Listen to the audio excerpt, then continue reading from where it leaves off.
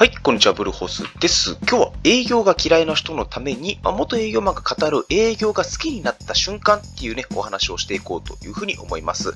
で、えー僕自身は、まあ、営業っていうと、まあ、実は現役の営業マンなんですね。まあご存知の方もいるかもしれないんですが、まあ、営業という仕事はね、正直ね、僕はそんなに好きじゃない、むしろ嫌いな部類なんですけれども、まあ、なんとなく向いているみたいなので、まあ、新人の頃からね、ずっと営業やってるんですけど、まあ、今日まで続けることができてるんですよね。まあ、あの、ちょっとした自慢をすると、営業成績トップを、ま、走り続けてたりとか、そんな感じですね。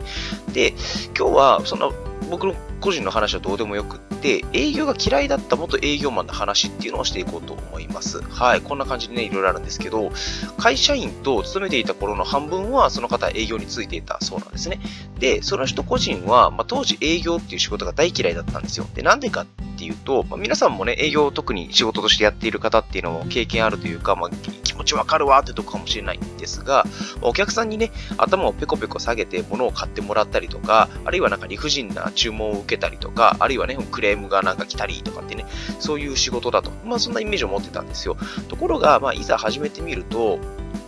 まあお客さんにもね、当然そのいろいろクレームとか注文とかつけてくるようなお客さんでも、まあ家庭があって日々頑張っている人たちばかりなんですよ。ということは、より良いものが欲しいというのは当然な気持ちなんだなっていうことが理解ができたし、まあ一方で当然ながら、もうなんかもうそんなわけのわからない理不尽なことを言うっていう人も中にはいたんですけど、大体がまあきちんと話せばわかる人っていうのが大半だったということなんですね。で、営業を頑張るうちに少しずつ、まあ営業っていい仕事なんだなっていうイメージがいいものには確かに変わっていったんですよ。ところがこの人自身、やっぱりそれでも営業が嫌いだっっていうことに関して変わりはなかったんですね。確かに気の合うお客様とか可愛がってくれる人っていうのはたくさんできたんですよ。ところがどんなに提案をしても、まあそれって結局人間関係だけど、買うかどうかっていうのは別の話なんですよね。だからお断りを受ける回数っていうのは多かったんですよ。いや、なんとかくんとはすごく良くしてもらってるけど、まあ買うかどうかは別だよね、みたいな。で、断られることが嫌だし、怖かったので提案ができなくなっちゃったんですよ。だから仲良くなったのに気分を損ねないだろうかとか、まあ、ガツガツしていると思われないだろうかとか、お金しか考えてないやつめっていう風に見られないだろうかっていう風に、マイナスの要素で取られてしまうくらいだったら、こっちから提案をしないでお客さんがこれ買いたいなっていう時にだけ言うと、まあ、買ってもらうという、そんな感じなんですよね。ところが、それって全部気言うと、まあ、考えすぎだったっていうことだったんですよね。勘違いだったんですよ。ある日、その人が、えお客さんに言われたわけなんですよ。なんで提案してくれないの？でいつも無料でなんかいろいろ来て、情報くれるけど、逆にそれって気を使っちゃうんだよねと。だからこっちも、あ、くまでビジネスとして関係をちゃんと続けていきたいから、お金払った方が気分もいいんだよ。その方が君もちょっと来てよと、提案してよとか、これ買いたいから来てよっていう風に呼びやすくなるから、そしてっていう風に言われたんですよ。で、そう言われて、はって気づかされたんですね。なるほどと。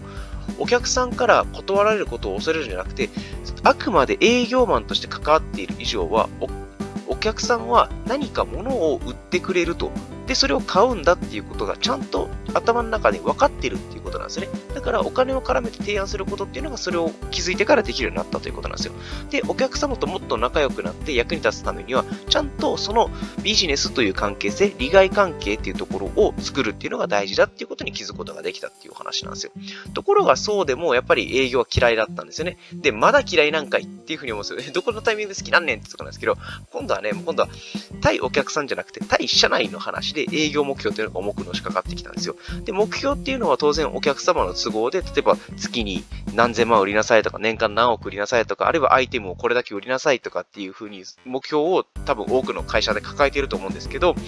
それってお客様にとってどうでもいい話じゃないですか。で目標に到達するためにお客様に売りつけるなんてことをしたくないし、それをやったら、なんか結局俺たちのことノルマとして考えてたんだなっていうふうに嫌われてしまうきっかけになりかねないというところですね。だから目標を達成するための営業っていうのは結局できないままだったんですよ。